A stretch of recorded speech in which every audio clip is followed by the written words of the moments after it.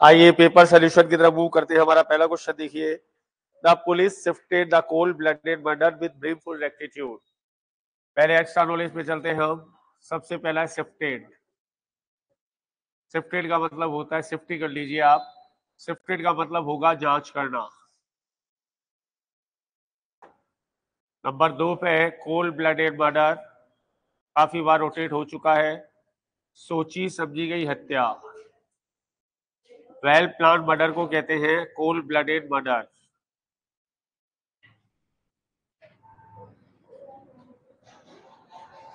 Third है आपका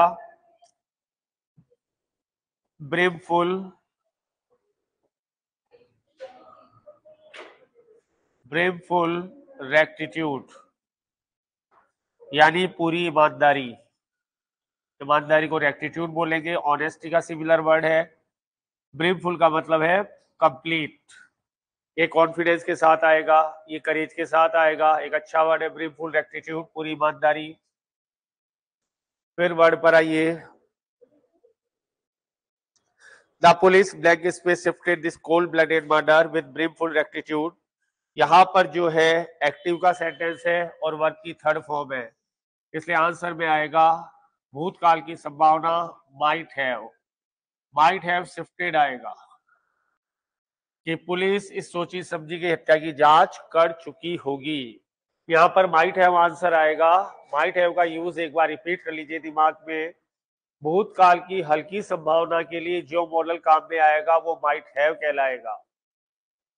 might have shifted answer आएगा। Answer number A is the right answer clear पहला question police might have shifted this cold blooded murder with brimful rectitude police इस सोची समझी की हत्या की जाँच कर चुकी होगी। पूरी ईमानदारी के साथ माइट हैव क्यों आया? क्योंकि वर्ग की थर्ड फॉर्म है। हल्की संभावना के लिए जो मॉडल हमारे पास आएगा, उसका नाम होगा माइट हैव सिफ्ट यानी जाँच करना कोल्ड ब्लडेड मर्डर सोची समझी गई हत्या और ब्रिमफुल रेक्टिट्यूड पूरी ईमानदारी ब्रिमफुल कॉन्फिडेंस हो सकता है, ब्रिमफुल करेज हो सकता है। हमारी बाल्टी जब पूरी भर जाती है पानी से और वो छलकती है, पानी ऊपर से जाता है, उसी को ब्रिमफुल कहते हैं। बड़ा अच्छा एग्जेक्टिव है। दूसरे पर आइए। Your culprit neighbour black space sell spurious ghee and hooch covertly spurious ghee किसको कहते हैं? नकली घी दूसरा क्वेश्चन की एक्स्ट्रा नॉलेज सबसे पहले स्पूरियस ये जनरली घी के साथ आता है या शराब के साथ आता है? जनरली जब आप अडल्ट्रेटेड अलग होगा स्पूरियस घी, नकली घी। एक मिलावटी आएगा तो वर्ड कुछ और आएगा और नकली आएगा तो वर्ड कुछ और आएगा। हूच का मतलब कुछ नहीं लगाना इसमें। हूच का मतलब नकली शराब। जो मैथिल एल्कोहल होता है, वो नकली शराब होती है, वो हूच कहलाती है। जिसको पीने से काफ़ी लोग मर जाते हैं तो हूच कहलाती है। क्वेश्चन नंबर टू पे चाह रहे हैं आप। कल्पित आपको पता है, अपराधी को कहते हैं कल्पित अपराधी। कल्पित कहते हैं अपराधी को। तीसरा वर्ड, और चौथा जा रहा है आपका।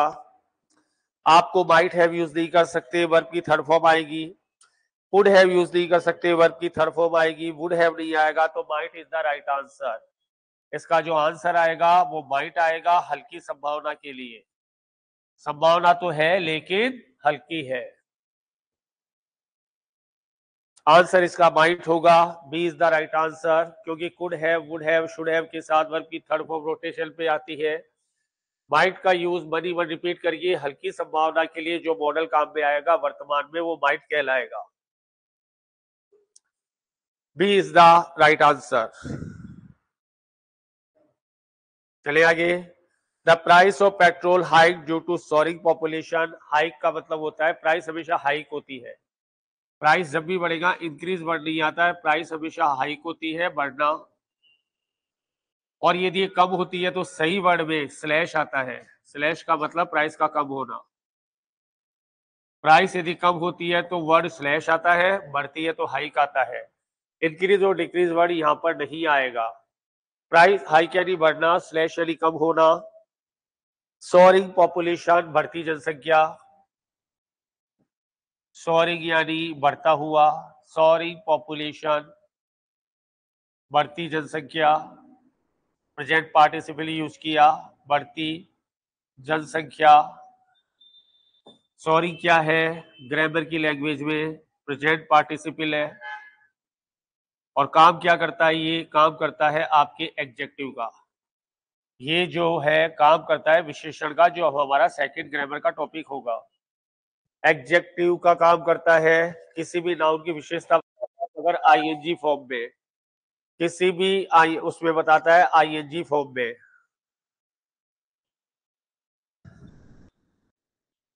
यहाँ पर जो भी बताएगा आईएनजी फॉर्म में ये अपनी विशेषता बताएगा। यहाँ पर हमें आंसर फाइंड आउट करना है the price of petrol hike due to soaring population hiked verb की थर्ड फॉर्म है। तो आपको देखना है कि वर्क की थर्ड फॉर्म और पैसिव में आए, ऐसा कौन सा आंसर है? ए नहीं हो सकता सी नहीं हो सकता डी नहीं हो सकता। एक ऐसा आंसर जो पैसिव में भी आए और आपका जिसे कहते हैं पैसिव वो इसका आंसर होना विल हैव टू बी भविष्य काल की मजबूरी करना पड़ेगा। ये इसको देख के आप क्या ऑब्जेक्टिव में भी क्वेश्चन बनाएगा। जहाँ जहाँ टू आएगा, उसकी पैसिव में बी थर्ड फॉर्म आएगी, वो आगे बात करेंगे पैसिव वॉइस में। तो विल हैव टू बी क्यों आया? क्योंकि आंसर पैसिव का है। कौन बढ़ाएगा? पता नहीं है। प्राइस को बढ़ाना पड़ेगा। किसके द्वारा? ये हमें पता नहीं है। तो आंसर बहुत टेक्निकल है। आपका ए आंसर नहीं हो सकता सी आंसर नहीं हो सकता डी आंसर नहीं हो सकता, क्योंकि डी एक्टिव में है। पैसिव का एक ही आंसर है we will have to be third form is the right answer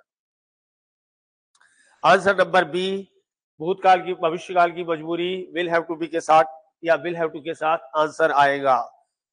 मुझे एक मोबाइल खरीदना पड़ेगा I will have to purchase a mobile और एक मोबाइल खरीदना पड़ेगा a mobile will have to be purchased by me by you इससे कोई फ़र्क नहीं पड़ता। This decompose corpse identified due to dense darkness decompose corpse सड़ी गली लाश डिकम्पोज है, चार दिन पुरानी है। डी कंपोज कॉप्स अभी चार दिन पुरानी है तो नेचुरल सी बात है, सड़ी गली लाश। सड़ी गली लाश को कहते हैं डिकम्पोज कॉप्स जब आपने इसे चार दिन पुरानी कह दिया, पाँच दिन पुरानी कह दिया तो ये दुर्गंध ज़रूर देगी। तो दुर्गंध के लिए फॉर्मूला करें एनएसएस काम में आएगा। नोइसम दुर्गंध जो लाश में से या कचरे में से आएगी। स्टिंक और स्टेंच। दुर्गंध आना या दुर्गंध, ये वर्ब का काम भी करता है। नोइसम स्टिंक और स्टेंच। तीन वर्ड है दुर्गंध के और चार वर्ड करेंगे खुशबू के। आप इसको स्वच्छ भारत अभियान में काम में ले सकते हैं। नोइसम स्टिंग और स्टेंच। किस आप कूड़े का ढेर है, वो दुर्गंध देता है, या जानवरों के अवशेष है, वो दुर्गंध देते हैं तो आप दुर्गंध के लिए नोइसम स्टिंग और स्टेंच को यूज़ कर सकते हैं। दुर्गंध। खुशबू का अलग वर्ड आएगा, दुर्गंध का अलग वर्ड आएगा। डेंस डार्कनेस बहुत घना अंधेरा है, बहुत ज़्यादा अंधेरा है। डेंस का मतलब घना। डेंस का मतलब घना। बहुत ज़्यादा अंधेरे को बोलेंगे डेंस डार्कनेस क्वेश्चन जा रहा है पैसिव इसमें आंसर लेगा ए कुड नॉट बी एक लाश को पहचाना ना जा सका कुड नॉट बी आपका थर्ड फॉर्म में आएगा। कुड का यूज़ कब होता है? भूतकाल में कोई भी काम, कोई भी एबिलिटी या कैपेसिटी हम शो ना कर सके। हम कोई भी अंग्रेज़ी ना बोल सके कुड नॉट बी में जाएगा। अंग्रेज़ी बोल सके कुड में जाएगा। तो भूतकाल में कोई भी काम आप ना कर पाए कुड नॉट बी में वर्क की third form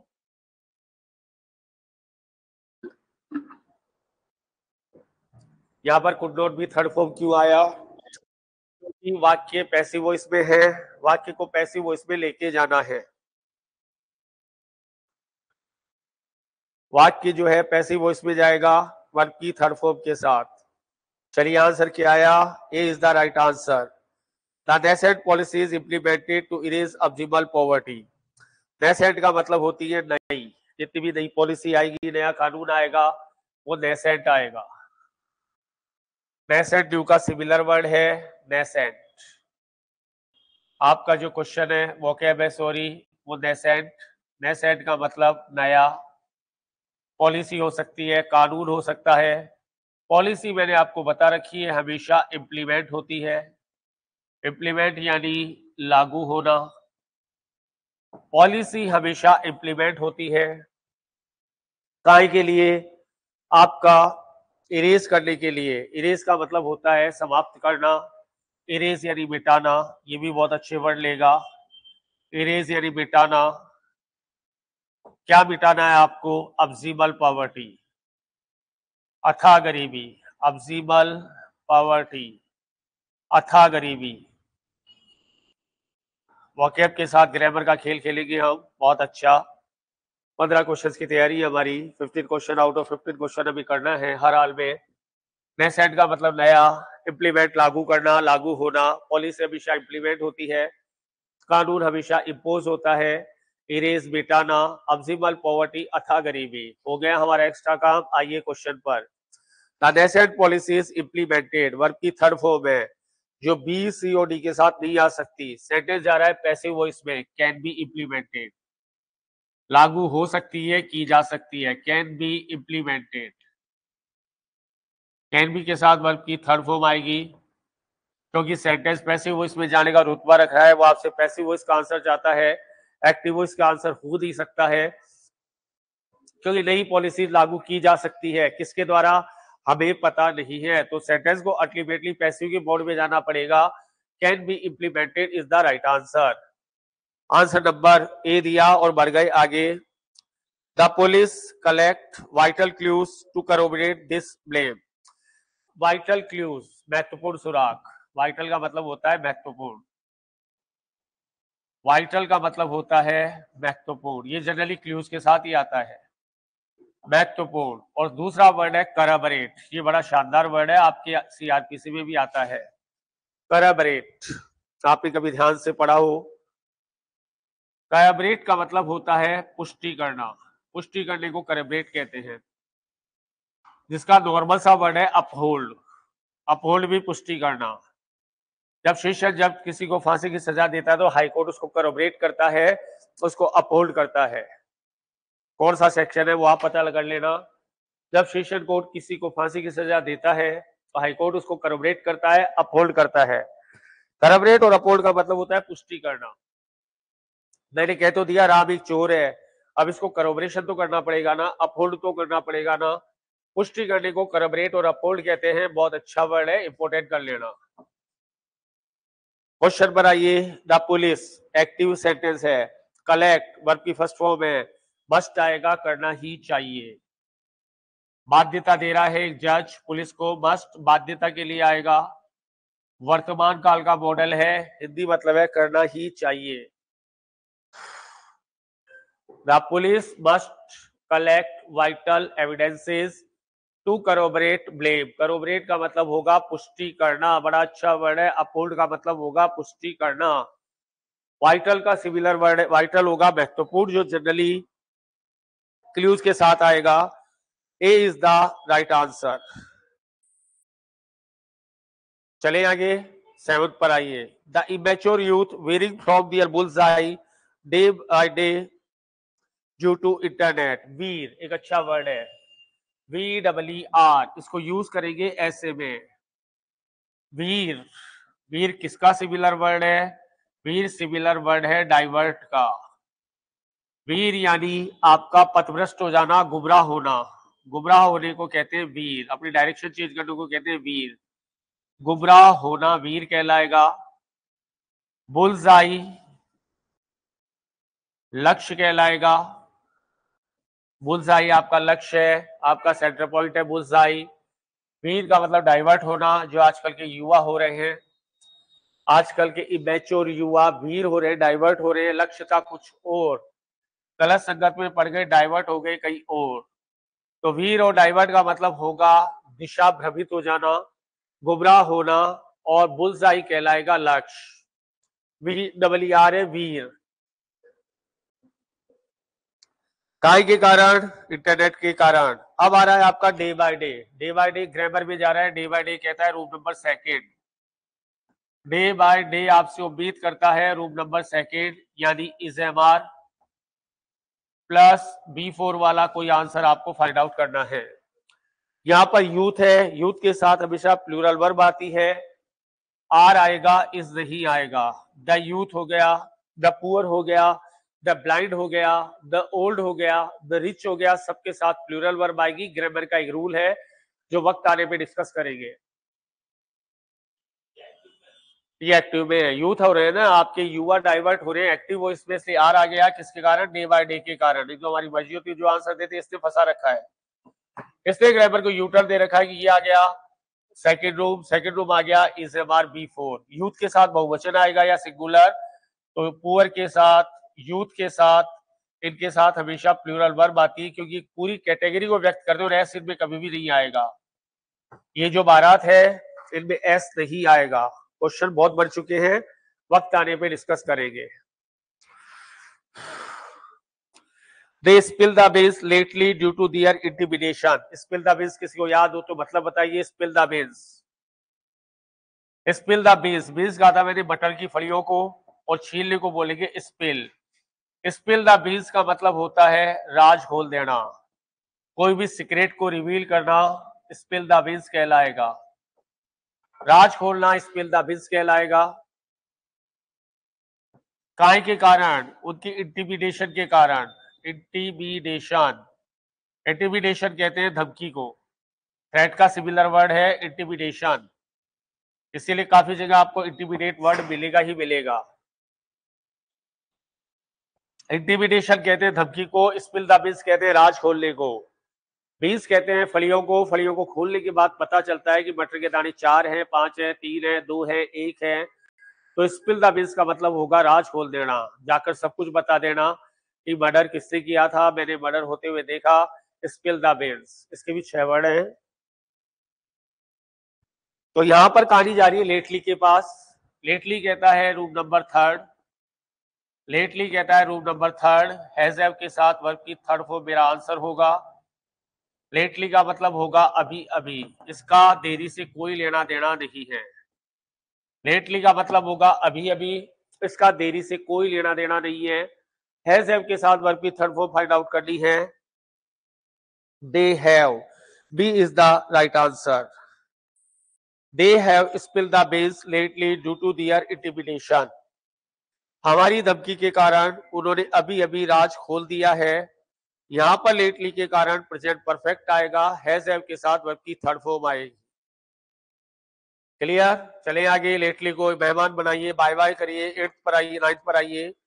I confined and starve in stuffy room I confined and starve in stuffy room okay confined छह वर्ड ले रहा है वैसे तो किसी को कैद करना। कन्फाइंड का मतलब होगा किसी को कैद करना। ये भी छह वर्ड पर है, अकेला नहीं है। कैद करने को बोलते हैं कन्फाइन क्या क्या किया गया? Starve S T A R A V E भूखे रखना। किसी को रोटी नहीं देना, भूखा रखना स्टार कहलाएगा। एक एक वर्ड इंपॉर्टेंट है आने वाले वक्त के लिए। आप सोचे इसकी क्या इंपॉर्टेंस है। इंपॉर्टेंस तो मैं क्रिएट करूँगा इंपॉर्टेंस होती नहीं है। ऐसे में कैसे घूमेंगे ये वर्ड्स वो अपना आर्ट है। तो कन्फाइंड होता है, कैद करना। स्टार होता है, भूखा रखना। कहा? स्टेफी रूम स्टेफी रूम से भी दोस्ती करवा देता हूँ, जिसके उजालदान और खिड़की ना हो, वो स्टेफी रूम कहलाता है, यानी कोटड़ी इसलिए जितने भी आपके नटोरियस क्रिमिनल होते हैं, आपके जिसे कहते हैं, क्या बोलते हैं, ये टेररिस्ट होते हैं, संजय दत्त को भी स्टेफी रूम में रखा गया था, यदि आपने उसका टाडा वाला केस पढ़ा हो तो। एक बहुत बंद कोटड़ी सी होती है, उसको स्टेफी रूम कहा जाता है हमारे गाँव में स्टेफी रूम का प्रचलन है गाँव में हमारे साल जिसको बोलते हैं वो स्टेफी रूम ही होता है उसमें कोई उजा, उजालदार नहीं होता कोई खिड़की नहीं होती केवल एक दरवाज़ा होता है वो भी चोरों के डर से। क्योंकि पहले चोरियाँ हुआ करती थी तो स्टेफी रूम का प्रचलन हुआ करता था कि सिर्फ़ एक दरवाज़ा होता था बाकी पैक वो स्टेफी रूम कहलाता है कन्फाइन कैद करना स्टार भूखा रखना। आइए सेंटेंस को समझते हैं सेंटेंस आपसे पैसिव वॉइस में जाना चाहता है कि मुझे कैद किया गया था और भूखा रखा गया था एक कोटड़ी में तो यहाँ पर हेडबीन के अलावा कोई पैसिव आपके पास नहीं है। हेडबीन के अलावा कोई भी पैसिव आपके पास नहीं है, इसलिए हेडबीन प्लस वर्ब की थर्ड फॉर्म आपका आंसर होगा।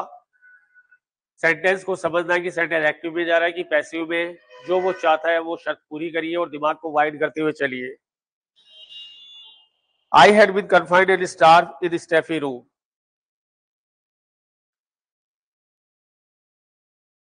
ये भूखा रखना किसको रखा गया था? एक फॉर्मूला बना देता हूँ मैं। ये रखा गया था सीएलएस को। चंदूलाल शर्मा को भूखा रखा गया।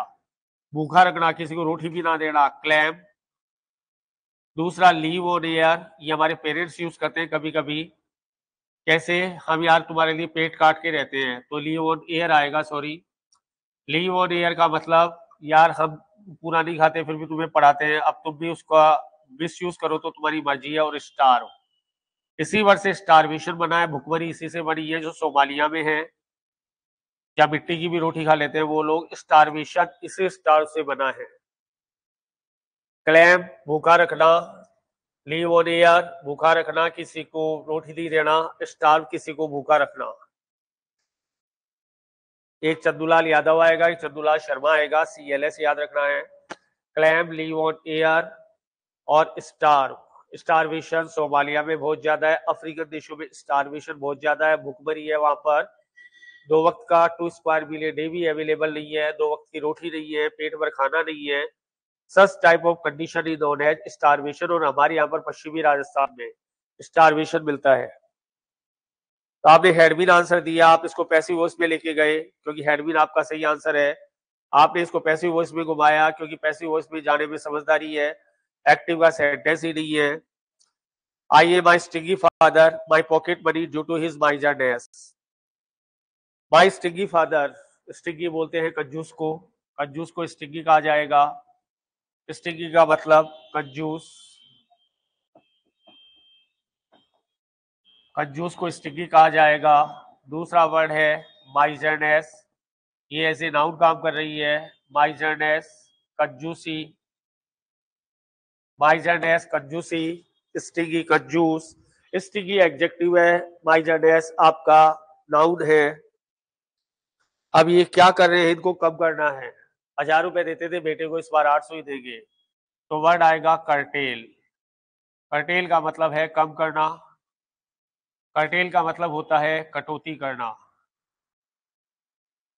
पहले देते थे दो हज़ार रुपए पर मंथ इस बार थोड़ा पैसा नहीं आया तो इस बार देंगे इसको हज़ार रुपए हज़ार रुपए को कर्टेल कर दिया। हज़ार रुपए को कर्टेल कर दिया, कम कर दिया। आपके मार्क्स आने वाले थे साठ, किसी ने दिए चालीस नंबर कर्टेल कर दिया बीस मार्क्स को। हर महीने हम पेट्रोल तीस लीटर यूज़ करते हैं, इस बार बीस लीटर यूज़ करेंगे कर्टेल कर दिया, कम कर दिया। स्टिकी कंजूस माइजरनेस कंजूसी कर्टेल कम करना, कटौती करना।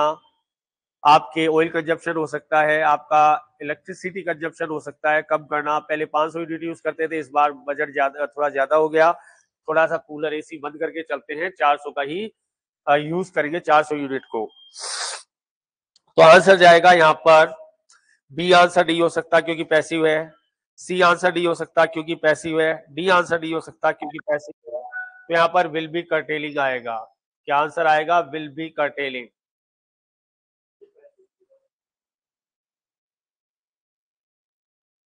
वाइटल इसका जिसे कहते हैं। किसका? हाँ कटौती कर रहे हैं तो एक्टिव का सेंटेंस है। फादर ही जिसे कहते हैं कि एक्टिव का सेंटेंस है। एक्टिव में सेंटेंस है तो आपका जिसे कहते हैं जाना पड़ेगा इसमें। तो देखिए आप स्टिगी कंजूस पॉकेट मनी को कटेल करना है माइजा डेस कंजूसी यहाँ पर आंसर एक्टिव का सेंटेंस है विल बी कर्टेलिंग कौन से टेंस में लिखा गया? कौन से टेंस में लिखा गया विल बी कर्टेलिंग बताइए आप। विल बी कर्टेलिंग कौन से टेंस में लिखा गया? आपके टेंथ में आया तो आपका फ्यूचर कंटिन्यूस में आएगा, कटौती कर रहा होगा। विल बी कर्टेलिंग आंसर आएगा। एक्टिव का सेंटेंस है तो पैसिव उसमें जाना ही नहीं है।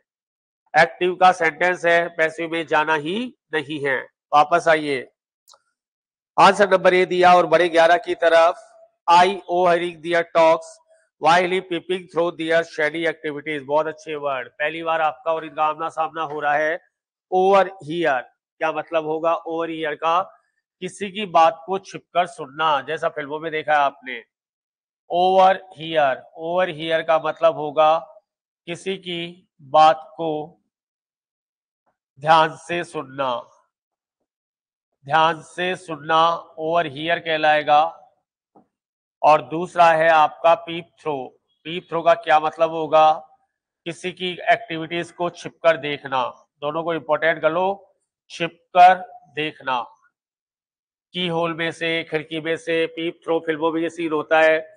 काफ़ी जगह होता है, ओवर ईयर किसी की बात कुछ, जैसे कोई इसके, दीवार के पीछे है, ओवर ईयर कर रहा है, पीप थ्रो छिपकर देखना छिपकर देखने को पीप थ्रो कहते हैं। और शेडी एक्टिविटीज़ शेडी का मतलब होता है महत्व, आपका संदिग्ध। शेडी एक्टिविटीज़ होगा संदिग्ध। ऑनलाइन फ्रेंड्स आपकी क्वेरी का जवाब देते हैं, लेकिन क्लास के बाद एक एक क्वेरी आप मेरे से पूछ सकते हैं डायरेक्ट लेकिन क्लास के बाद देते हैं ताकि क्लास हमारी कंटिन्यूटी में डिस्टर्ब ना हो।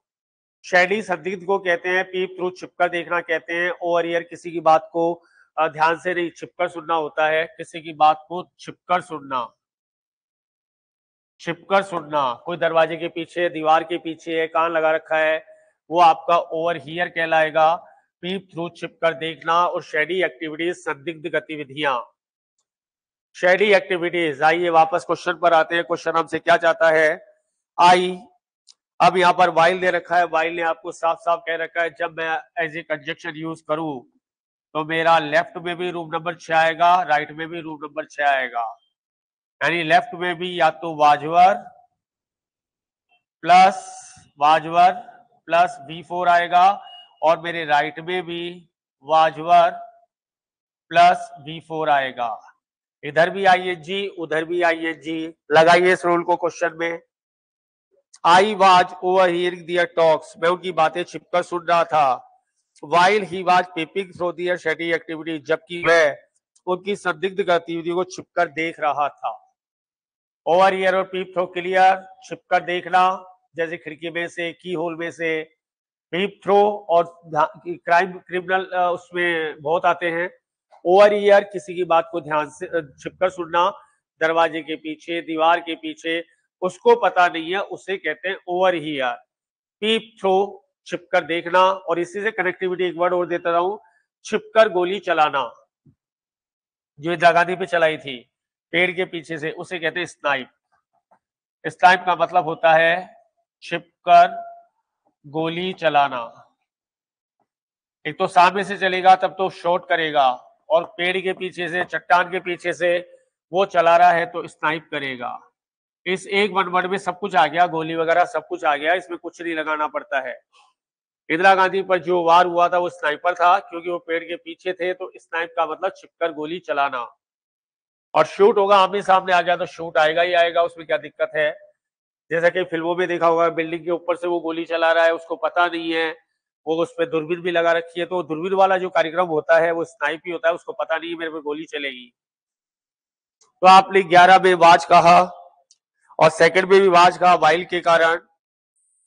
I was hovering their talks मैं उनकी बातों को छिपकर सुन रहा था, जबकि वो संदिग्ध गतिविधियों को छिपकर देख रहा था। B is the right answer you esteem your senile parents they had cherished you esteem का मतलब होता है सम्मान करना, किसी का आदर करना। विलेज गाँव के हीरो को याद कर लीजिए। एस्टीम का मतलब होगा आदर करना। किसका आदर करवाना है? सिनाइल पेरेंट्स का। सिनाइल का मतलब वृद्ध। वृद्ध माँ बाप को बोलेंगे सिनाइल। और यदि सेवा करवानी है इनकी तो वर्ड कर देना रिपोज। सेवा वर्ड आ जाए तो वर्ड होगा रिपोज। सेवा करना। बूढ़े माँ बाप का सम्मान करेंगे तो एस्टीम और सेवा करेंगे तो रिपोज। थोड़ा सा डिफरेंस है खास डिफरेंस नहीं है। सेवा करी ना करे, कम से कम बूढ़े आदमियों का रिपोज एस्टीम तो करना पड़ेगा। यदि बूढ़े आदमी की सेवा कर रहे हैं तो वर्ड रिपोज आएगा और उनका सम्मान कर रहे हैं तो वर्ड एस्टीम आएगा। अब आपसे मॉडल की चाह रखता ये, मॉडल कहता है नैतिकता का भाव है तो ऑट टू के अलावा कोई आंसर होगा ही नहीं। और टू का मतलब है चाहिए, लेकिन मोरलिटी वाले वाक्यों में। और टू के साथ नैतिकता का भाव। और टू के साथ मोरल वर्ड्स चाहिए और टू का सिमिलर वर्ड आएगा। आंसर डी दिया और बढ़ गए फ्रेजेस की तरफ़ बर्न योर फिंगर आपके पास 20 लाख रुपए थे। 20 लाख आपने लगा दिए शेयर मार्केट में। सारा का सारा नुकसान हो गया। नुकसान हो गया, कुछ भी नहीं बचा। खत्म, ज़ीरो लेवल पे हैं आप। तो उसे कहते हैं, बर्न योर फिंगर। अपना आर्थिक नुकसान आर्थिक नुकसान करवा लेना। आर्थिक नुकसान करवाना या हो जाना। कोई भी शेयर मार्केट में पैसा लगा दिया, सट्टे में पैसा लगा दिया, सट्टे और कुछ भी नहीं बचा, बिल्कुल खत्म हो गया हमारा। तो जो सोचा था उसके अकॉर्डिंग नहीं हुआ। तो बर्ड योर फिगर को याद रखना, इस फिगर को याद रखना, तब भी काम आएगा। तब भी हमारी इंग्लिश में काम आएगा। कैसे वक्त बताएगा? आज फिंगर काम में आ रही है, पाम काम में आई गई, हैंड काम में आई गया, एल्बो काम में आई गई। बॉडी और फिगर अपना नुकसान करवा लेना, आंसर नंबर जाएगा बी के पास, फेस इकोनॉमिकल लॉस। अपना आर्थिक नुकसान करवाना, face economical loss. Online friend, जितनी भी क्वेरी इकट्ठी कर लेना, मेरे से कांटेक्ट कर ले। करके हर क्वेरी का आप जो है आंसर फाइंड आउट करेंगे, मेरे से पर्सनली कांटेक्ट करके। रखना कुछ भी नहीं है दिमाग में। Pay on nail, pay on nail का मतलब मोबाइल लेने गए, दोनों को एक साथ ही कनेक्ट कर दो। यदि मोबाइल कैश में लिया है, बिल्कुल पैसे चुका दिए तो पे ऑन नेल है। नगद में लेना। मोबाइल को देख लो अपने अपने मोबाइल को। यदि मोबाइल आपने कैश में लिया है तो पे ऑन नेल है। अपने अपने मोबाइल से दो वो दो फ्रेजेस तैयार। इस ग्रामर का पॉइंट भी लाऊँगा आज नहीं, आने वाले समय में। यदि मोबाइल ने आपने कैश में लिया है तो पे ऑन लेल है, और ये आप किस्तों में ले रखा है तो पे ऑन कफ है इससे अगले वाली फ्रेज। पे ऑन कफ का मतलब होगा उधार पर लेना। कार हमेशा पे ऑन कफ होती है, क्योंकि चाहे तो भी नहीं ले सकते। इनकम टैक्स का लफड़ा रहता है। तो कार हमेशा पे ऑन कफ होती है, और मोबाइल तो हमारी इच्छा है, लैपटॉप तो हमारी इच्छा है। पे ऑन नेल भी हो सकता है, पे ऑन कफ भी हो सकता है। लेकिन कार या कोई मकान जब लोन पे ले रहे हैं तो सिर्फ़ लोन पे ही लेते हैं, ताकि इनकम टैक्स का भी चक्कर ना पड़े। उसे पे ऑन कप कहते हैं कप इसको कहते हैं, जो हमारे स्लीव का आखिरी पार्ट होता है कप कहलाता है? और नेल हमारी ये वाले नेल नोटों को जब गिरते हैं तो नेल बहुत काम में आते हैं तो पे ऑन नेल कोई भी चीज़ कैश में लेना और पे ऑन कफ कोई भी चीज़ उधार में लेना। कफ कहते हैं इसको और उसको कहते हैं आपका पे ऑन नेल दोनों को कनेक्टेड कर दीजिए। पहला फिफ्टीन का आंसर होगा ए ऑन क्रेडिट, और फोर्टीन का आंसर होगा आपका सी, पे कैश। आपका मोबाइल यदि नगद पर है तो पे ऑन डेल को याद रखना है। आपका मोबाइल किस्तों पर है तो पे ऑन द कफ को याद रखना है। A is the right answer. Clear आज का सेशन? चलिए अरमान, दो बढ़िया वो लेके आओ, मार्कर। शुरू करें आज का अगला सेगमेंट। नीचे से ले आओ। अच्छे मार्कर बहुत बढ़िया चलते हो आज हम ले रहे हैं सेक्टर नंबर सी की तरफ़ अब तक हम आर्थिक नुकसान करवाना। आपने 20 लाख रुपए थे, सट्टे में लगा दिए आपने।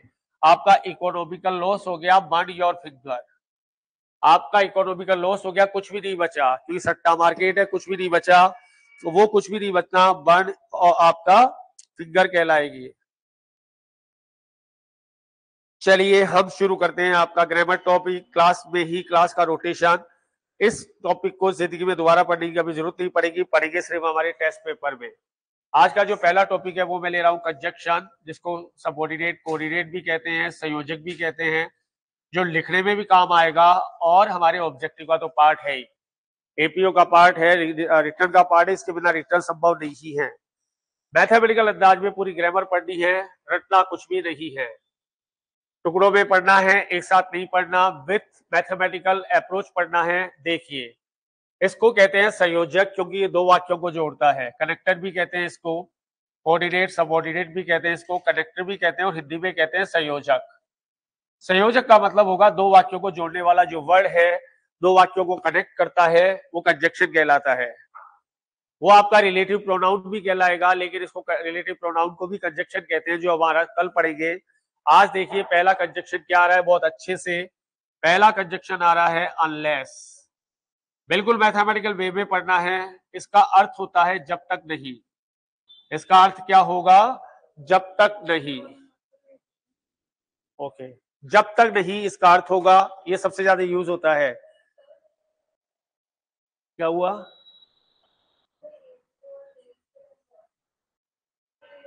प्री में भी है ना? लिखने में काम आएगा, प्री में तो क्वेश्चन आएगा, वो चीज़ है। प्री में भी आपका ये आ रहा है आपके आज इसका पार्ट है, जब तक नहीं, जब तक नहीं इसका अर्थ है पहली बात। दूसरा, इसका ग्रामेटिकल पावर क्या है, दो वाक्यों को जोड़ेगा अनलेस का मतलब होगा जब तक नहीं तो इसका ग्रामेटिकल पावर क्या है, वो देखिए इसका, इसके वाक्य में, ये दो चीज़ याद रखना है, इसके वाक्य में कभी भी विल या नॉट नहीं आएगा। विल या नॉट नहीं आएगा ना तो विल आएगा ना नॉट आएगा पहली बात इसी के वाक्य में इसके बाद वाले वाक्य में इसके बाद वाले वाक्य में बाद वाले वाक्य में सिंपल प्रेजेंट लिखा जाएगा यानी वी वन वी फाइव वही पुरानी कहानी सिंपल प्रेजेंट यानी वी वन और वी फाइव का यूज़ होगा। वी फाइव का प्रयोग होगा। नोट नहीं आएगा। नोट वाला ऑप्शन दिमाग में से निकाल देना। अनलेस का मतलब होगा जब तक नहीं, ये किसी शर्त के लिए आता है। ये किसी शर्त के लिए प्रयुक्त होगा। कोई भी शर्त। आप पास नहीं होगे जब तक आप नहीं पढ़ोगे। जब तक आप नहीं पढ़ोगे, पास कैसे होगे? ये किसी शर्त के लिए आता है। और इसी का भाई है, जिसमें सेम कहानी लागू होगी, उसका नाम है अंटिल ये दोनों को साथ ही पढ़ना है आपको। अंटिल लेकिन ये आता है समय की शर्त के लिए। एक आधे वाक्य में आता है, समय की शर्त के लिए इसका प्रयोग होगा। पहले दो कंजक्शन आज छह कंजक्शन पढ़ेंगे, टिप्स पर समय की शर्त के लिए इसका प्रयोग होगा। आज का दो पॉइंट पहले नंबर पर दिमाग में प्रिंट कर लो, फिर इस पर गेम खेलते हैं, फिर मैं आपको एक्सरसाइज दूँगा घर से, वो आपको कंप्लीट करनी है इसी पर। आज आप मुझे पढ़ाएँगे, क्या अर्थ है, कौन सा टेंस है, मैं आपको नई चीज़ पढ़ाऊँगा, आप मुझे पुरानी चीज़ पढ़ाएँगे। अनलेस और अंटिल का गेम खेलने जा रहे हैं हम, कुछ अच्छे प्रेजेंटेशन के साथ, आपको फाइंड आउट करना है कौन सा टेंस चल रहा है, आप बताएँगे, कौन सा रूल चल रहा है वो मैं बताऊँगा। आज आप पढ़ेंगे जो हमने अब तक पढ़ा टेंस मॉडल ग्रामर उन सबका रोटेशन एक बार फिर। उसका रोटेशन होगा और इसका इंट्रोडक्शन होगा। पहले दो मेहमान आए आपसे अनलेस और अंटिल्स मिलने। ये रहते हैं कंजक्शन के गाँव में। कहा रहते हैं? क्या जीपी है? आज का टॉपिक यही पूरा करेंगे, घर पे नहीं ले जाने देंगे। आपने पढ़ लिया अनलेस और अंटिल की कहानी क्लियर अनलेस और अंटिल का मतलब हिंदी मतलब होगा जब तक नहीं। पहली बात, इसके वाक्य, इसके बाद वाले वाक्य में, ना विल आएगा, ना नॉट आएगा। दूसरी बात, इन दोनों के बाद वाले वाक्य में सिंपल प्रेजेंट का प्रयोग होगा तो वी वन आएगा या वी फाइव वी फाइव आएगा। अनलेस किसी शर्त के लिए आता है 99 परसेंट इसका यूज़ होता है, और अंटिल होता है समय की शर्त के लिए कोई भी। मैं आपका इंतज़ार करूँगा जब तक आप वापस नहीं आ जाएँगे। एक आधे सेंटेंस में आता है। क्लियर कहानी? आ जाइए गेम खेलते हैं इसके ऊपर। दिमाग में जीपी को याद रखना। जीपी कहते हैं ग्रेमेटिकल पावर को अब दोबारा पढ़ने की ना तो परमिशन है, ना देखने की परमिशन है। मैं सेंटेंस लिख रहा हूँ, मेरे को समझाते चलिए आप। ग्रामर कहा आई वो कैब कहा आई पहले वाले वाक्य से कोई लेना देना नहीं है आपका।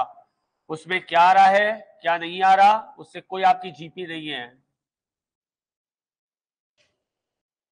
आप मुझे समझाएँगे? कौन सा टेंस है? क्या यूज़ हो रहा है? देखते हैं। I will not comply with your orders comply with का क्या मतलब है? बोलते चलो।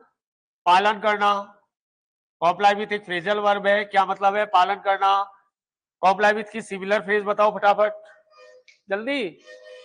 अब हमारा प्रेजेंटेशन दौर चालू हो गया। अबाइड बाय अबाइड बाय क्या गर्मी से सूने हो गए क्या? अबाइड बाय मैं आपके आदेशों की पालना नहीं करूँगा। ग्रीस पाम जल्दी बताओ। मुट्ठी गरम करना। पूरे सेंटेंस का क्या मतलब हुआ?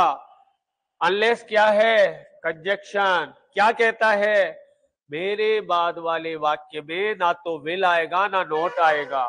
नोट नहीं आएगा। आपका वाक्य प्रेजेंट इंडेफिनेट में लिखा गया है और अर्थ क्या होगा? सुन लीजिए। मैं तुम्हारे आदेशों की पालना नहीं करूँगा, जब तक तुम मेरी मुट्ठी गरम नहीं करोगे। अनलेस में नोट क्यों नहीं आया? क्योंकि भाई साहब खुद ही निगेटिव है। अनलेस में नोट क्यों नहीं आया? क्योंकि खुद ही नकारात्मक है। आइए सेकंड अनलेस का यूज़ चल रहा है, देखिए, आप समझ में आ रहा है? पूरी हिंदी लिखने की ज़रूरत है? समझ में आ रहा है ना? क्यों टाइम खराब करें? इससे बेटर अच्छी ग्रामर करें ना।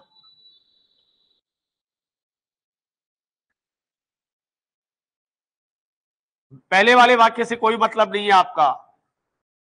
आ जाओ दोस्तों, करते हैं इसका पोस्टमार्टम प्रोप का मतलब जाँच करना।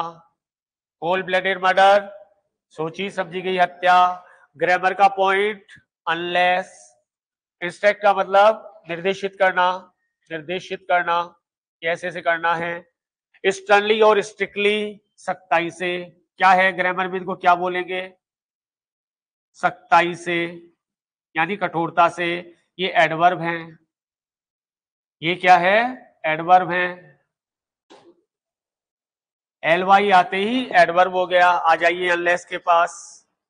आज का टॉपिक यही क्लियर होगा, घर पे ले जाने के लिए कुछ नहीं है। इतना गेम खेल जाएँगे ये टॉपिक दिमाग में क्लियर तो आपका दूसरा सेंटेंस आपसे कहता है he will not probe this cold blooded murder unless you instruct him sternly और स्ट्रिक्टली वो इस सोची समझी गई हत्या की जाँच नहीं करेगा, जब तक तुम इसे सख्ताई से आदेश नहीं दोगे। ग्रामर का पॉइंट क्या है? अनलेस कहा रहता है? कंजक्शन के गाँव में। क्या ग्रामेटिकल पावर है? इसके बाद विल और not does not do not will not इसका प्रयोग नहीं होगा। तो किसका प्रयोग होगा? आपके प्रेजेंट इंडेफिनेट का। कोल प्रॉप जाँच करना। इसकी फ्रेजल वर्ब बताइए। फ्रेजल वर्ब बताइए, जाँच करने की जल्दी अब आपका वो कमांडो ट्रेनिंग चालू हो गई आज से। प्रॉप की फ्रेजल वर्ब चाहिए मेरे को जाँच करने की। तो प्रॉप की जाँच करने की फ्रेजल वर्ब है look into look into for तो आपका तलाश करना। आपके प्रॉप की जो जाँच होगी वो है लुक इनटू लुक इनटू कहता है जाँच करना। लुक के साथ इनटू आएगा इन्वेस्टिगेट के साथ इनटू नहीं आएगा। क्लियर पॉइंट अनलेस वाला क्लियर अभी वापस रिपीट करेंगे, दिमाग को तैयार रखना वापस उससे भेजने के लिए। एक बार जा रहा है, वापस कॉल करेंगे। तो आपने आज का पहला पॉइंट पढ़ा है अनलेस जो कहता है, मैं कंजक्शन के गाँव में रहता हूँ, मेरा नाम है कंजक्शन मेरी ग्रामेटिकल पावर है, मेरे बाद बिल नहीं आता है नोट नहीं आता है, ना डस नोट आता है, ना डू नोट आता है, और गलती से क्या? 99 परसेंट लोग इसके साथ नोट लगाते हैं, और मैं आपको दिखा दूँगा, अच्छे पढ़े लिखे लोग अनलेस के साथ और अटिल के साथ नोट का यूज़ करते हैं। अनलेस कहा आता है? कोई भी शर्त के लिए अनलेस आता है। आप एग्ज़ाम पास नहीं करेंगे। You will not pass your exam unless you toil, जब तक आप कड़ी मेहनत नहीं करेंगे। क्लियर अभी वापस आने पर आप मुझे समझाएँगे पूरा का पूरा खेल एक ग्राफ के ज़रिए। एक अंटिल का भी पढ़ लेते हैं। कैसे? I will wait for you wait के साथ फोर आएगा फ्रेंड्स याद रखना है। I will wait for you at and in इनका मतलब होती है धर्मशाला। धर्मशाला को कहते हैं इन अंटिल का यूज़ करना है। अंटिल यू रिटर्न जब तक तुम वापस नहीं आ जाओगे। आया हुआ क्वेश्चन है इंपॉर्टेंट कर लेना। अंटिल यू रिटर्न वेट के साथ प्रपोजिशन फोर आएगा। इसका भाई है अवेट इसके साथ प्रपोजिशन नहीं आता है। एक एक बाय पॉइंट को लेके चलना है। अवेट के साथ ज़ीरो प्रपोजिशन कोई प्रपोजिशन नहीं आता है। ना फोर आएगा अवेट जो होगा वो आपका किसी प्रपोजिशन के बिना आएगा। रिटर्न के साथ कभी बैक नहीं आता है। रिटर्न में बैक शामिल है। रिटर्न के साथ बैक नहीं आएगा। वापस आना ये सुपर सुपरफ्लूस एक्सप्रेशन कहलाता है। यहाँ पर रिटर्न के साथ बैक नहीं आएगा और आपका वेट के साथ फोर आएगा। अवेट के साथ फोर नहीं आएगा। I will wait for you I will wait for you कर देना। मैं तुम्हारा इंतज़ार करूँगा। एट एन ईद एक धर्मशाला पर अंटिल यू रिटर्न जब तक तुम वापस नहीं आ जाओगे। पूरे सेंटेंस में फ्यूचर इंडेफिनेट पढ़ा सिंपल प्रेजेंट पढ़ा और क्या पढ़ा? सबसे इंपॉर्टेंट अंटिल को पढ़ा ग्रामर के पार्ट को पढ़ा। क्लियर चले आगे। मुझे टिप्स पर चाहिए, मैं फिर कहता हूँ, मेरे को घर पे नहीं ले जाने दूँगा, यहीं पर सारा कार्यक्रम खत्म। चले आगे।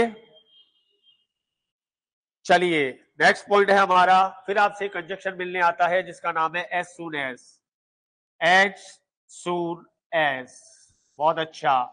इसका मतलब होगा जैसे ही। इसका हिंदी मतलब होगा जैसे ही। ये क्या कहता है? ये कुछ नहीं कहता, नोट से कहानी नहीं है। ये कहता है, मेरे बाद विल नहीं आएगा।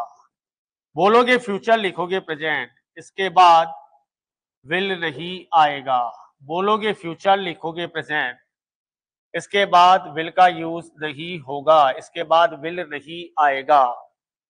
एज सुन एज और एज एज के मध्य हमेशा पॉजिटिव डिग्री आती है, ये कहानी आगे पढ़ेंगे सुनर नहीं होगा सुनी होगा, ये भी एक कहानी है। एज सुन एज का मतलब होगा जैसे ही, इसके बाद कभी विल नहीं आएगा। बोलोगे फ्यूचर लिखोगे प्रेजेंट आइए गेम खेलते हैं, इसकी कुछ अच्छी वॉक है अब दिमाग में सीधी इंग्लिश चल रही है। जहाँ दिक्कत हो, मेरे को बता देना। I will round up you I will round up you as soon as as soon as अच्छी अंग्रेज़ी पढ़ना सीख लो। You lunge at him you lunge at him with a grinded dagger जो आए, बताते चलना। नहीं आए तो हम अभी इसको सॉल्व कर देते हैं डैगर कहानी है सुरेश के पास है। सारी कहानी यहाँ पर आज इसको देखना ये हमारा चीफ गेस्ट बाकी तो सब बात आ चुके हैं। ये है हमारा चीफ गेस्ट बताओ दोस्तों, इसका अर्थ बताते चलिए। I will round up you मैं तुम्हें गिरफ़्तार करूँगा। मैं तुम्हें गिरफ़्तार करूँगा। राउंड अप फ्रेजल वर्ब है। मैं तुम्हें गिरफ़्तार करूँगा। एस सुने जैसे ही। तुम उस पर वार करोगे। तुम उस पर वार करोगे। काय से काय से वार करवाना है? धारदार खज्जर से। बस, अब आप सही ट्रैक पकड़ लिया। धारदार खज्जर से।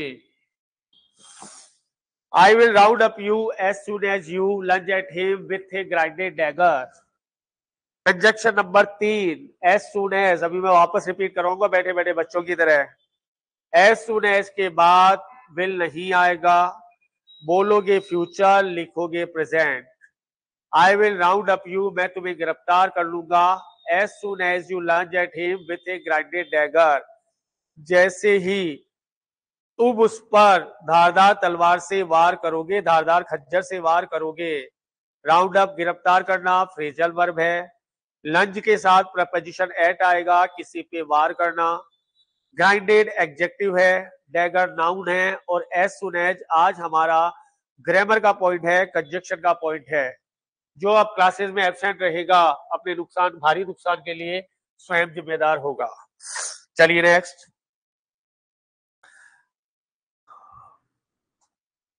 he will rake up answer आप बताएँगे। He will rake up he will will your दिमाग में आ, आ, करते जाना कि आंसर क्या आएगा। Murky business. As soon as बिल्कुल सही जा रहे हो। As soon as you intimidate intimidate या local word threaten threaten him overtly overtly का मतलब होगा खुल्लम खुल्ला। ओपनली अवर्टली का मतलब होगा खुल्लम खुल्ला। एकदम जिसे कहते हैं यहाँ पर आकर धमकी दे गया। इंटीमिडेट का मतलब धमकी देना। इंटीमिडेट का मतलब धमकी देना। बताइए, अर्थ बताइए विद ग्रामर कंसेप्ट जल्दी सब एक साथ, अब तो आप पारंगत हो गए, अब क्या दिक्कत है? बताओ इसका। A will rake up your murky business rake up का क्या मतलब था? पर्दाफाश करना। मर्की बिज़नेस काला धंधा ब्लैक जो ये अपना कुछ भी नकली की बेचना इत्यादि साइबर क्राइम करना murky business as soon as के पास आ जाओ बड़े प्यार से। He will rake up your murky business वो आपके काले धंधे की पोल खोल देगा। वो आप के आ, काले धंधे की पोल खोल देगा। As soon as you intimidate और थ्रेटन हिम जैसे ही आप उसे धमकी देंगे अवर्टली खुल्लम खुल्ला। यहाँ पर ग्रामर का कौन सा पार्ट चल रहा है? फ़र्स्ट में फ्यूचर इंडेफिनेट गया। एज सुन एज कंजक्शन के पास आया। सेकंड वाला प्रेजेंट इंडेफिनेट के पास गया। इंटिमिडेट और थ्रेटन वर्ब की फ़र्स्ट फॉर्म या बी फाइव को यूज़ करेगा। तो एज सुन एज कहता है, मेरे पास कभी भी आपका जो है फ्यूचर नहीं आएगा, मेरे बाद बिल को यूज़ करने की हिमाकत ना करें, नहीं क्वेश्चन गलत होकर जाएगा। क्लियर तीसरा कंजक्शन क्लियर ब्रेन भी क्लियर करना है कॉपी से कोई लेना देना नहीं है, वो तो जस्ट एक फॉर्मेलिटी है। जिसको आप कितनी देर यूज़ करेंगे जितनी देर ज़रूरत है। तो क्लियर यहाँ पर? आइए नेक्स्ट चलते हैं। राज खोलना। किसी के सामने पोल खोल देना। पहले इसकी कहानी खत्म कर दो, फिर आगे बढ़ते हैं। तो एक नाम था, देवधर दरोगा। ने सारे लोगों के सामने राज खोल दिया। देवधर दरोगा, राज खोलना, किसी के सामने सीक्रेट खोलना। राज खोलना, पहला डिस्क्लोज खुलासा कर देना। पुलिस के सामने सब कुछ बता दिया। दूसरा डिबंक तीसरा डाइवर्ज बड़ा अच्छा वर्ड है एग्ज़ाम में काफ़ी बार आ चुका है। ये आपकी फ्रेज है स्पिल द बीन्स ये भी आपकी फ्रेज है let the cat out of the bag ये क्या होता है कुछ शर्मनाक राज खोल देना। Let the cat out of the bag out the bag ही कर दो दो प्रपोजिशन नहीं आते। बिल्ली को बैग से बाहर निकालना, जैसे किसका अफेयर है, और आपने पार्टी के सामने कह दिया, तेरा तो यार सो एंड सो से अफेयर है। तो let the cat out of the bag और चौथा और सबसे आखिरी रेकअप और रिवील आपको आता है। रिवील तो आपके लो में भी आता है। चलो सात, आज के बाद राज खोलना या पोल खोलना?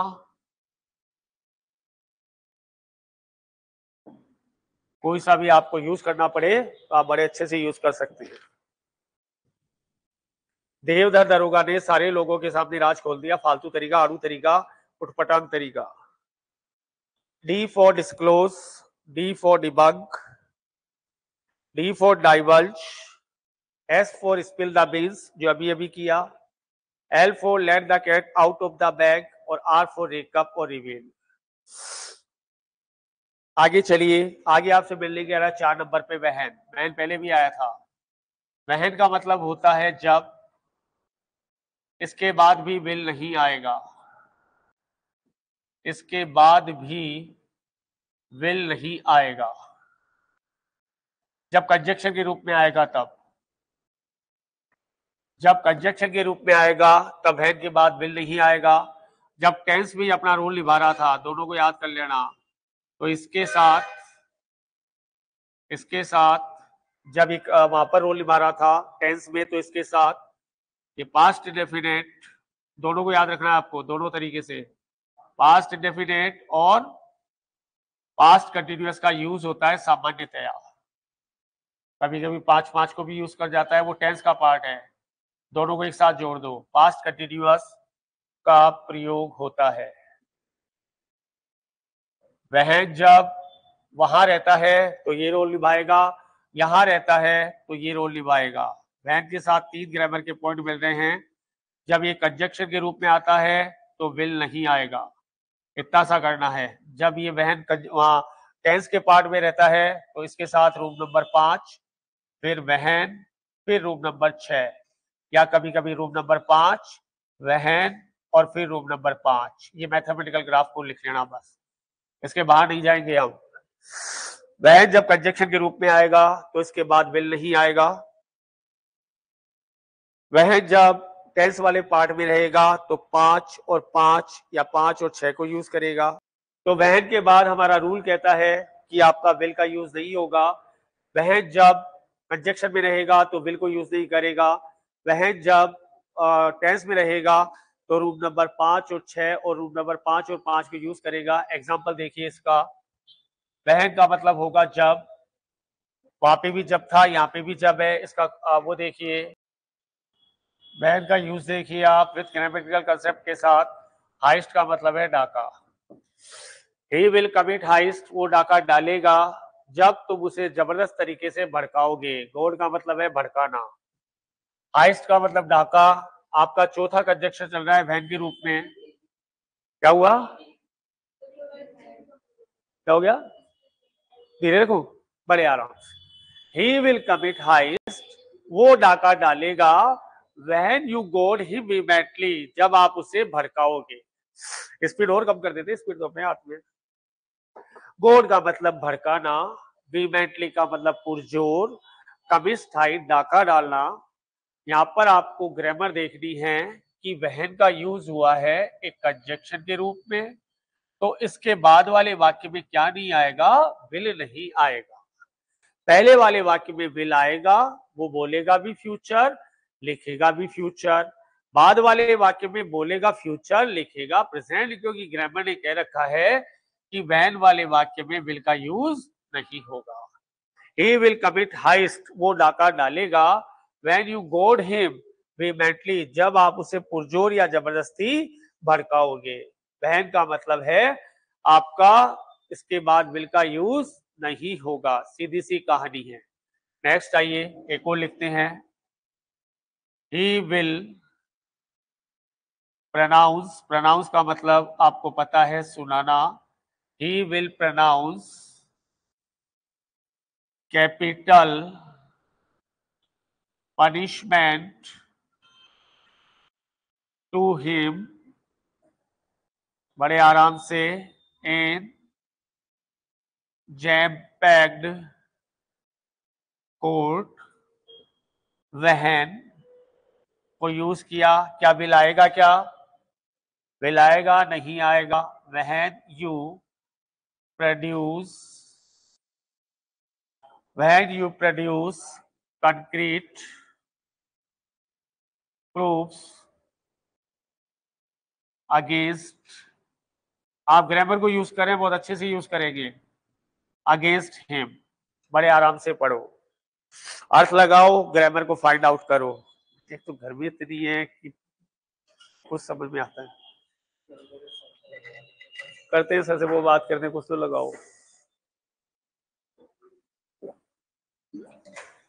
ही विल प्रोनाउंस विल का यूज़ किया capital punishment to him in jam packed court when you produce concrete proof against him आपको वहन पे रखनी है सारी दया, क्योंकि आज हम कंजक्शन में इसको मेहमान बना रहे हैं तो मेहमान तो मेहमान होता है। He will pronounce capital punishment to him क्या मतलब हुआ? इसका पहली लाइन का।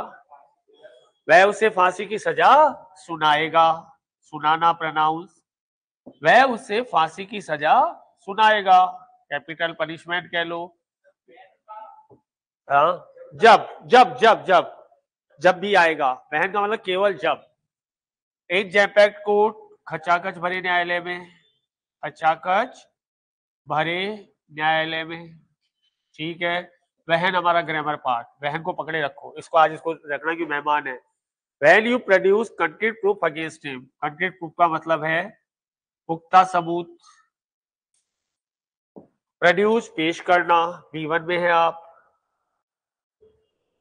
तो आपसे गुजरता हुआ सेंटेंस क्या उम्मीद करता है? ये उम्मीद करता है कि मेरे बाद विल का यूज़ नहीं करना है। गलती से भी विल मत लगा देना। एक सेंटेंस में दो विल नहीं हो सकते हैं।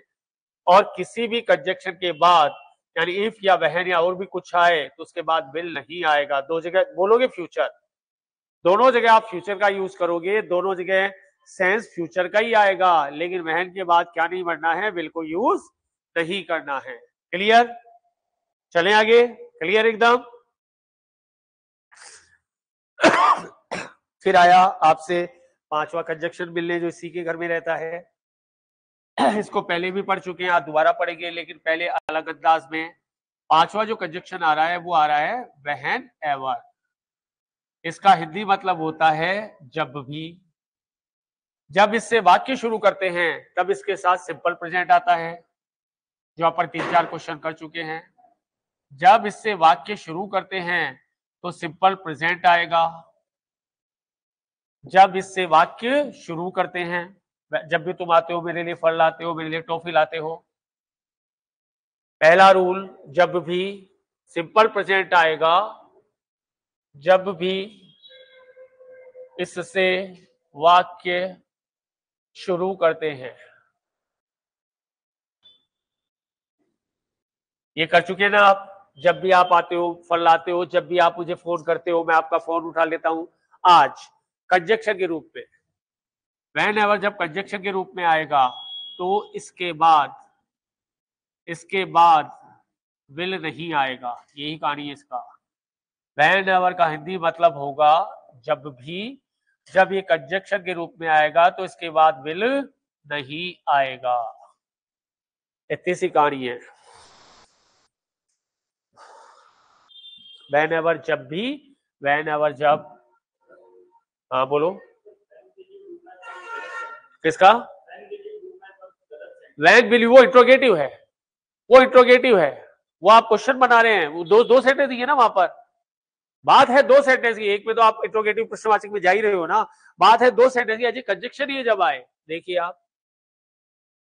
I will succour you succour का मतलब होता है सहायता करना।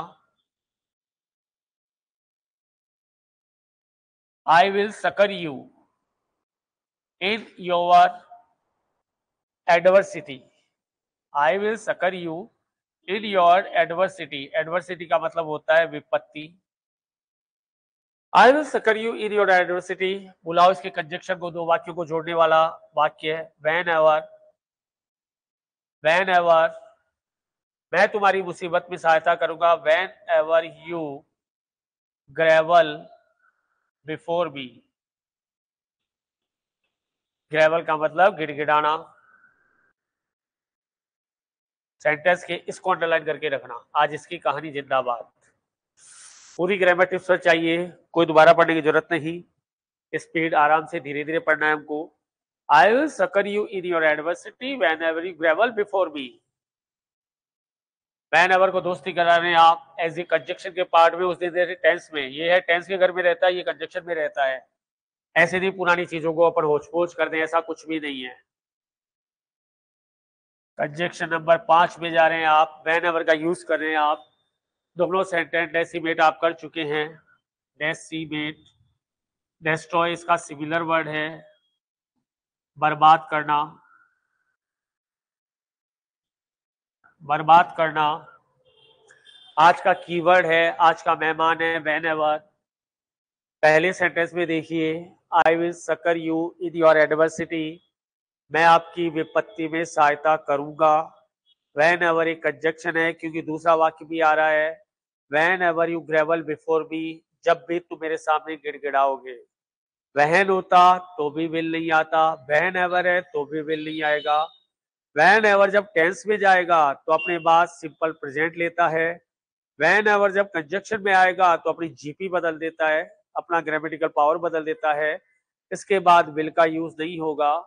दूसरा देखिए ही विल डेसिमेट और डेस्ट्रो यू वो तुमको बर्बाद कर देगा, वो तुम्हें तबाह कर देगा। Whenever you pester him जब भी तुम उसे परेशान करोगे without any rhyme and reason बिना किसी कारण। Whenever you pester pester परेशान करना, तंग करना, अकारण without any rhyme and reason को कहते हैं, बिना कारण। जब भी आप बिना कारण उसे परेशान करोगे तो वो तुम्हें तबाह कर देगा, बर्बाद कर देगा। यहाँ पर जीपी ग्रामेटिकल पावर जो है वैन एवर के पास है कंजक्शन से उठा है क्वेश्चन पहले तो ये पता करोगे, आया कहाँ से क्वेश्चन ऐसे ऐसे तुक्का नहीं। क्वेश्चन कहाँ से डेवलप हुआ है? क्वेश्चन डेवलप हुआ है कंजक्शन से। क्या जीपी रखता है भाई? तेरी ग्रामेटिकल पावर क्या है? तो इसकी ग्रामेटिकल पावर है, इसके बाद कभी भी विल का यूज़ नहीं होगा। हाँ बोलेंगे फ्यूचर सेंस मेरा फ्यूचर का रहेगा।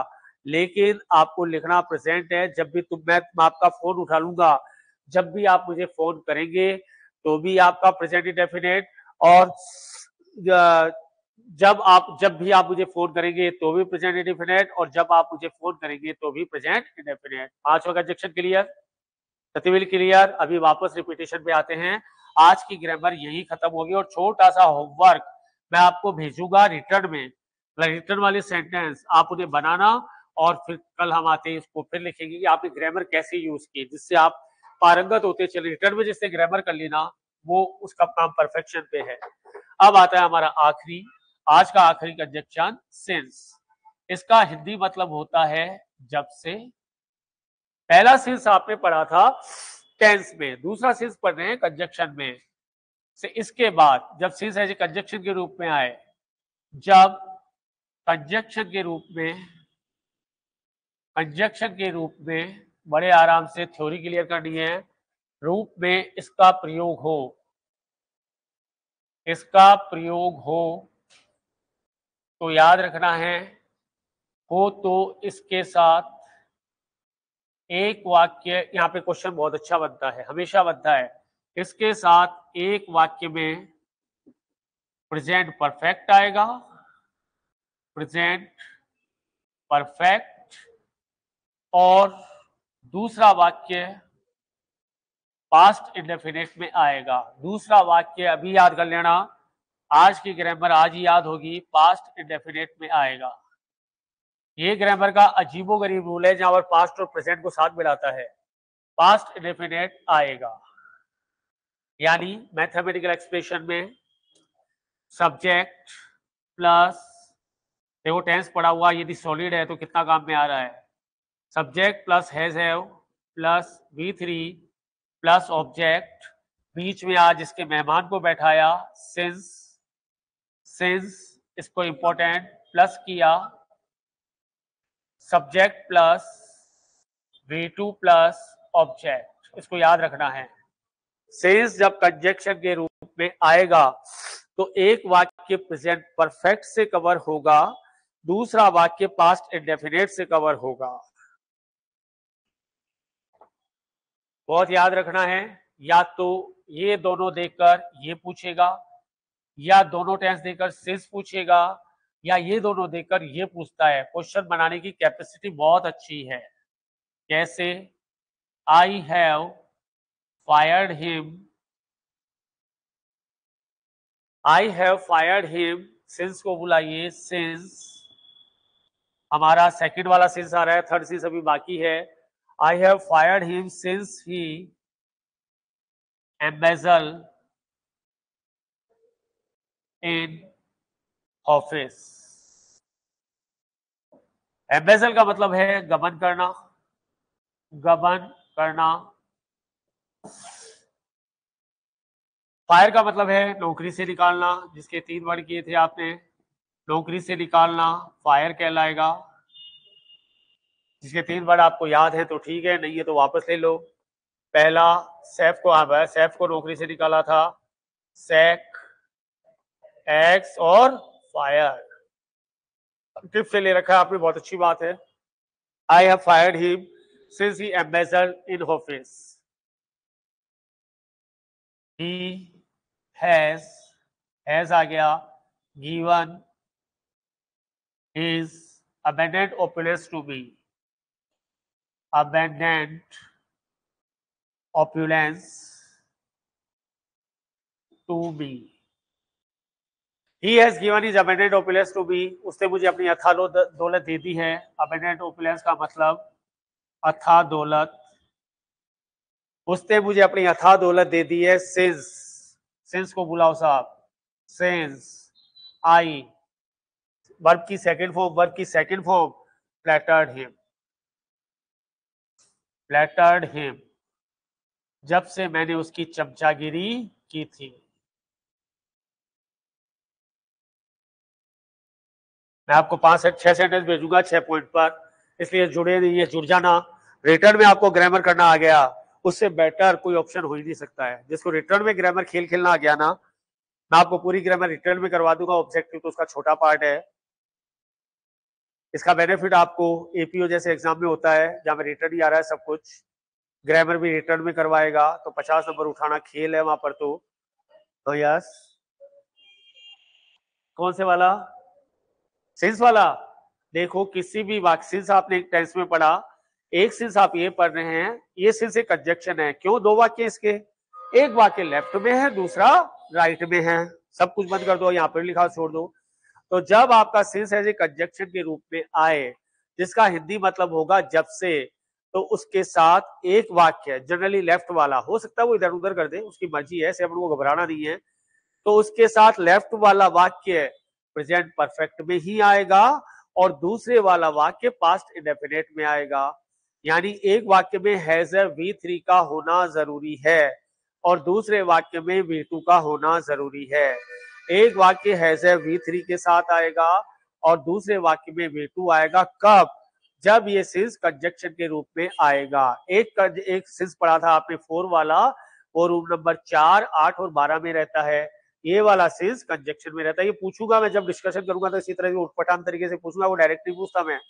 उठपटांग तरीके से, दूसरा सिंस कहाँ रहता है? बोले कंजक्शन में। बहुत अच्छी बात। क्या ग्रामेटिकल पावर है? बोले, सर, एक वाक्य प्रेजेंट परफेक्ट में और दूसरा पास्ट इंडेफिनेट में। तो देख लो आप आई हैव फायर्ड हिम मैंने उसे नौकरी से निकाल दिया है, जब से उसने ऑफ़िस में गमन किया था। इसकी पैसिव बनाओ फ़र्स्ट वाले की जल्दी। पहले वाले वाक्य को पैसे में बोल के दिखाओ, उसे नौकरी से निकाल दिया गया है। पैसिव में भी तो हो सकता है, ज़रूर नहीं एक्टिव में हो। पहले वाले के पैसे में बनाओ। हाँ? आई क्यों आएगा? ही को ले जाओ ना he has been fired by me बस बाय बाय बी की क्या ज़रूरत है? बाय बी की क्या ज़रूरत है? बाय बी की तो ज़रूरत ही नहीं है ना। इसकी पैसिव होगी। ही हैज़ बीन फायर्ड सीधी सी बात है, इसकी पैसिव होगी। Is abundant opulence has been given by him ज़रूरत हो तो ये तो हम गेम खेल रहे हैं। इसकी पैसिव क्या होगी? आई फ्लैटर्ड हिम जल्दी बनाओ आई फ्लैटर्ड हिम की passive he was flattered he was flattered by me मतलब गेम ये वो खतरनाक, इसको प्लेग्राउंड बना दो इसको। भयानक प्लेग्राउंड इधर से उधर उधर से इधर, कहा रे, खुद को पता नहीं चल रहा, बस लगना चाहिए। तो आज का आखिरी रूल क्या कहता है? आगे रूल जा रहा है। सिंस के पास जो आपसे कहता है कि यदि वाक्य में सिंस एजी कंजक्शन के रूप में आ जाए तो पहला वाक्य आपका हैजेव के साथ वर्ग की थर्ड फॉर्म में आएगा और दूसरा वाक्य वी टू में आएगा पास्ट इंडेफिनिट में आएगा। फ्रेंड्स क्लियर मिटा दू सब कुछ? कॉपी किताब सब बंद। सब बंद कर दो अब। हटा दू? नहीं लिखा? आपकी स्पीड कब में लिखने की क्या बात है? दोबारा लिखू? दोबारा लिखो? आई हैव क्या था? आई हैव फायर्ड हिम जो भी दिक्कत हो, बता दिया करो। I have fired him since ऊपर वाला कर दू रेज ऊपर वाला? क्योंकि बोर्ड में कुछ नहीं लिखना है, फिर भी बहुत कुछ लिखना है। लिखने के बाद कॉपी किताब बंद कर देना सब। ऑनलाइन फ्रेंड्स भी बंद कर देना ऑफलाइन भी बंद कर देना। और गेम खेलते हैं हमारा माइंड फीडिंग सिस्टम से दिमाग पे ले जाते हुए। पानी पी लू एक बार। मज़ा आ रहा है अरमान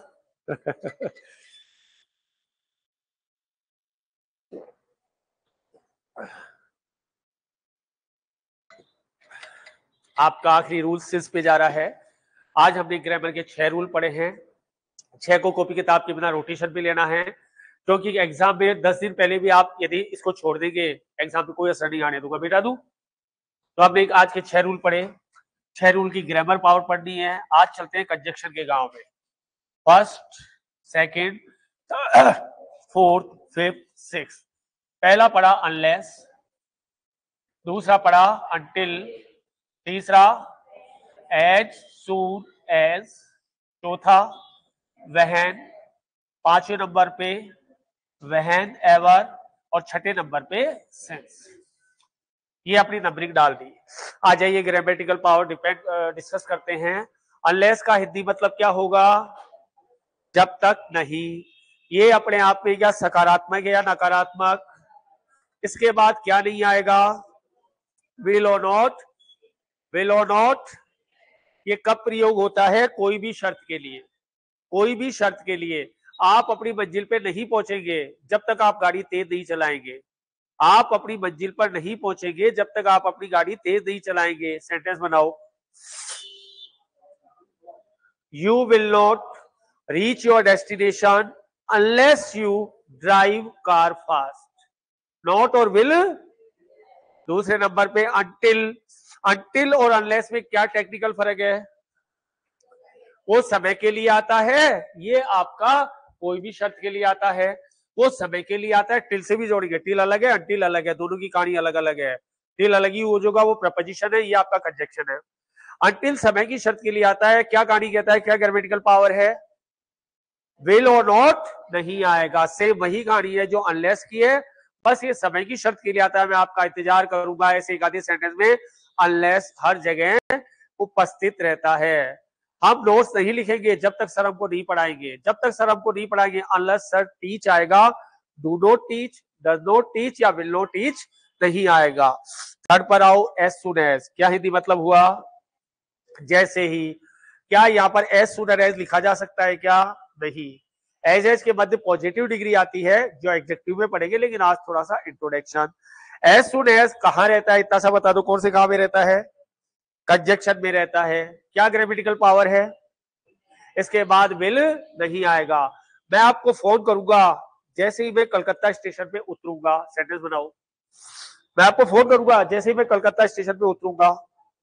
I will call you as soon as as soon as उतरो आप। कलकत्ता स्टेशन पे उतरूँगा, या तो अलाइट कर लो alight from alight on I alight on Calcutta station, या डी बोर्ड भी यूज़ कर सकते हो। I deboard on Calcutta station, bill लगाने की इच्छा हो रही है ना, कि बिल लगा दें। तो उतरूँगा ना, उतरूँगा तो बिल है, पर यहाँ रोक रहा है एज सुन कहता अपने साथ बिल नहीं, अपने को यूज़ करना तो बिल को यूज़ नहीं। आ जाओ, बहन बहन का हिंदी मतलब क्या होगा? इसके बाद क्या नहीं आएगा? बिल नहीं आएगा, इसके बाद कौन सा टेंस यूज़ होगा? प्रेजेंट इंडेफिनेट इससे पहले वाले में कौन सा टेंस यूज़ होगा? फ्यूचर इंडेफिनेट क्या एक वाक्य में दो विल आ सकते हैं क्या? नहीं आ सकते। कहा विल नहीं आएगा? कंजेक्शन के बाद विल नहीं आएगा।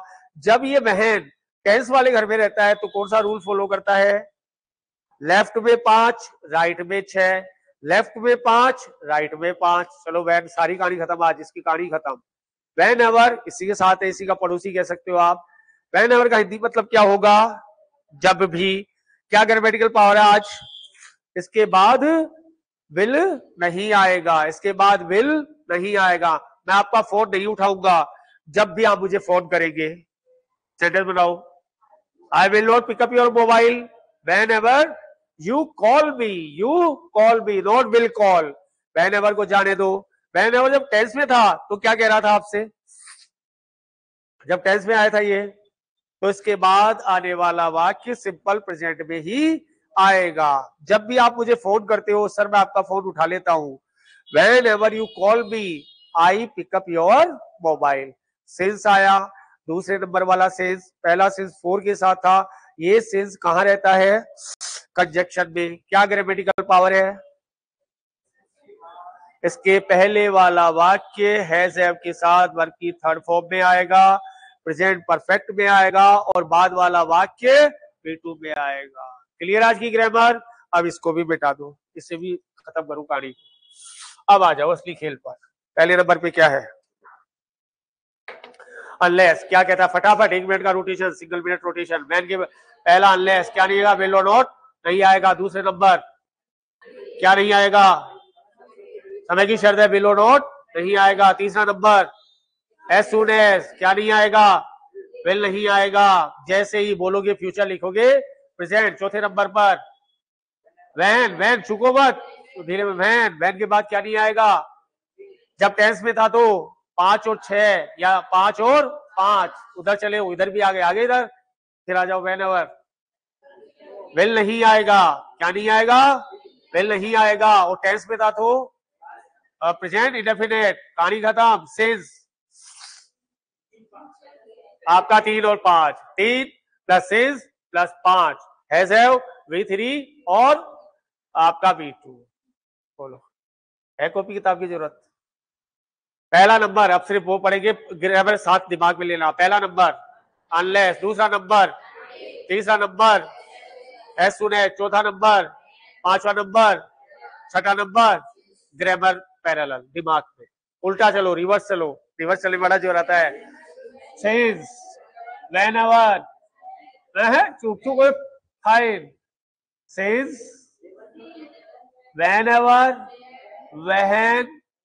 as until, और बाकी हुई कि नहीं एक्सरसाइज ऐसे खुलने को तैयार है, लेकिन मज़ा आया कि नहीं आया? एक सांस में, तीस सेकंड में unless until as soon as, when, whenever, since, पंद्रह सेकंड ओनली फिफ्टीन सेकंड सोचो क्या स्पीड ले रखी है। इसको कहते हैं पढ़ना और पढ़ाना। ग्रामर, दो अब अब खेल खेलेंगे सिर्फ़ पेपर में। ज़ोर आया? क्या ज़ोर आया? कुछ नहीं आया। कम से कम ये तो खुशी है, यहाँ का मैटर यही तैयार हो गया। अनलेस अनटिल ये आप चिपका लोगे। जब शॉर्ट जब सब कुछ कर लेंगे तो ये शॉर्ट नोट्स आप अपने स्टडी रूम में चिपकाएँगे। ये कंजक्शन शॉर्ट नोट एग्ज़ाम से जाते हुए देख लो, रोज चाय पीते हुए देखो, सब्ज़ी काटते हुए देखो, कोई भी चीज़ करते हुए देखो। ये खत्म कहानी। ग्रामर है, फलाना है, अरे पढ़ाने का तरीका डेवलप करो ना, आग लगाने में क्या ज़ोर आता है? हाँ लिखाने में, कोई गुरुजी को बड़ा ज़ोर आता है सिखाने में। सिखाने में ज़ोर आता है, लिखाने में ज़ोर नहीं आता है। लिखाने में क्या है, लिखाते चलो टाइम खराब करना है, मैं टाइम खराब नहीं करता। क्लियर आज का topic unless until, as soon as, when खत्म online friends clear online friends clear कोई भी आपको क्वेरी हो तो आप मुझे मेरे व्हाट्सएप नंबर पर मेरे नंबर पर कांटेक्ट कर करके हर क्वेरी को पूरे दिन में कभी भी आप पूछ सकते हैं। क्योंकि ऑनलाइन में डायरेक्ट जवाब देने में थोड़ी क्लास डिस्टर्ब होती है इसलिए आप मुझे डायरेक्ट कांटेक्ट कर सकते